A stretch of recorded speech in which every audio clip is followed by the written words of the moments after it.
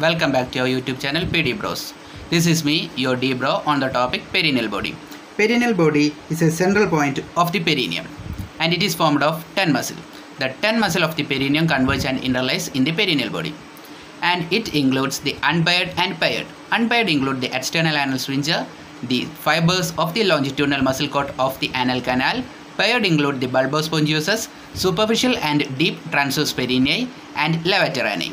To memorize this, the mnemonic will be the lily sits on table. The L and S stands for the unpaired and TBL stands for the paired. The L for the longitudinal muscle cord of anal canal and S for the sphincter, external anal sphincter and TBL stands for the T stands for the transverse which is the superficial and deep, B stands for the bulbospongiosus, L stands for the levator ani. That's all for the topic perineal body.